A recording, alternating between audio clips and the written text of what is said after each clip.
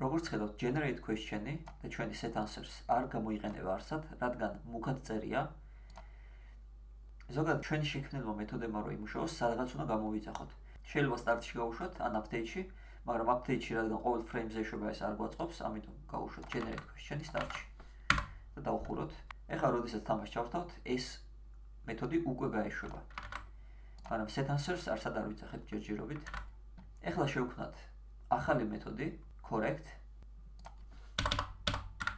რომელიც იქნება საჯარო, რადგან მეორე კოდში დაგვჭირდება answer script-ში ამის გადატანა.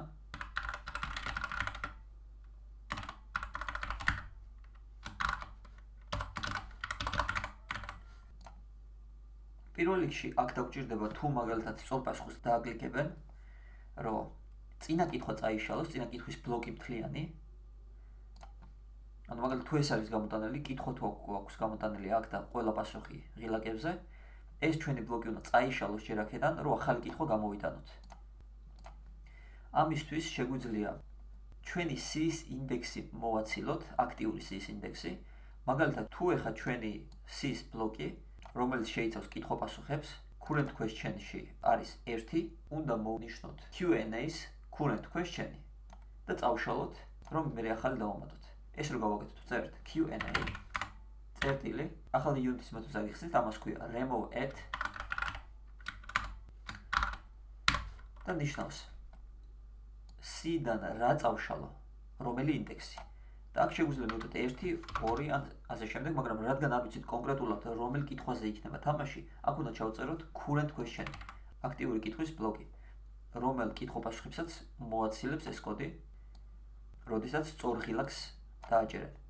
და შემდეგ ამაში ასევე დაგჭირდება რომ ახალი კითხვა შევქნათ თავის პასუხებიანად და ამისთვის გვაქვს ეს მეთოდი generate question როგორც აგიხსენეთ ამას წერთ აქ და წერტილ ძიმით ხურავთ. და ეს როდის უნდა მოხდეს? როდის უნდა გამოვიძახოთ correct-ი? როცა სწორ პასუხს აირჩევენ. და ეს გათვლილი გვაქვს answer script-ში. სწორი პასუხს თუ აირჩევენ, ეს is correct გადაიქცევა truth და თუ truth გადაიქცევა, გამოიტანს correct-ს. ანუ აქ უნდა ჩავაგდოთ ჩვენი ეს მეთოდი. ჩვენი correct მეთოდი. ეს რო გავაკეთოთ, პირდაპირ correct-ს ვერ ჩავწერთ, რადგან სხვა სკრიპტშია, ჯერ ეს სკრიპტი უნდა გამოვიძახოთ. რადგან უკვე ჩაგდებული გვაქვს კონტროლერი ჩვენ ასე სკრიპტში. მაგალითად, მაგალითად თითოეული ღილაკი რო გავხსნათ, თითოეულს აქვს დამაგრებული კონტროლერ, ქვის კონტროლერი. ეს იმას ნიშნავს, რომ უკვე დაკავშირებული გვაქვს ჩვენი ქვის კონტროლერი answer script-თან და შეუძლია ჩვენ answer script-ს დანახვა ჩვენი კონტროლერის script-ის. ამიტომ აქ ვუთითებთ ამის სახელს, რაც დავარქვით ქვის კონტროლერს, წერტილი და მეთოდი რაც გვინდა. მეთოდი ყოველთვის ფრჩხილებით იხურება და წერტილით ბოლოში.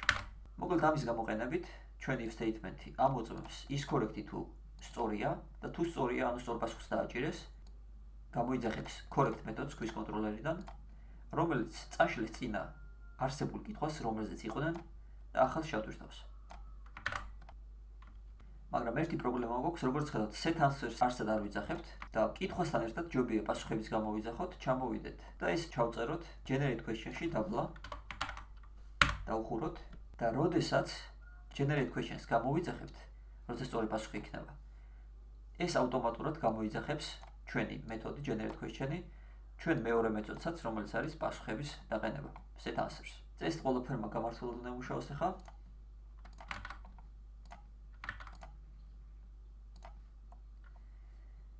ამოვკეცოთ. და ცალკე თამაშის ჩართვა. როგორც ხედავთ ჩაულებრივი კითხვა და პასუხები ამოვაგდო. ინსპექტორში თქვა დავალთ კონტროლერის test question-ში სწორი პასუხი უნდა იყოს აა ელემენტი პირველი, ანუ 2. ავირჩიოთ 2. და არასწორია, ეს რატო შეიძლება იყოს? ამოვშალოთ კოდი.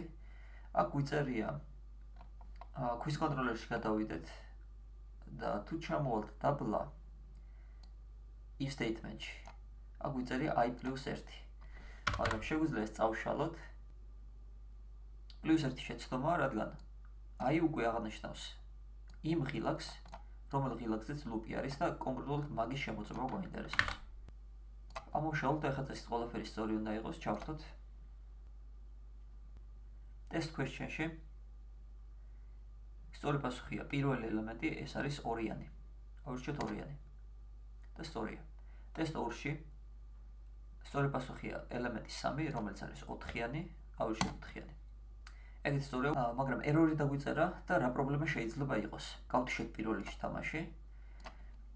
როდესაც სწორ პასუხს ვირჩევთ, პირველ რიგში წინა კითხვას შლის და შემდეგ ქმნის ახალ კითხვას.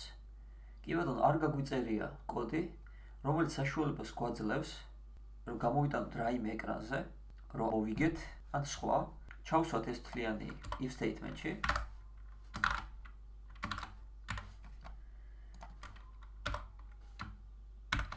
და ეს მხოლოდ იმ შემთხვევაში გამოიტანოს, თუ გვაქვს კითხვები.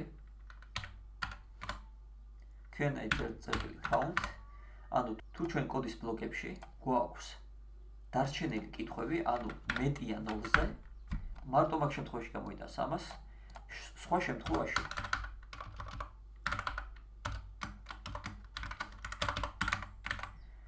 სხვა შემთხვევაში უბრალოდ ჩავტვირთავთ მაგალითად მოგების სცენას ან უბრალოდ დავწერთ debug.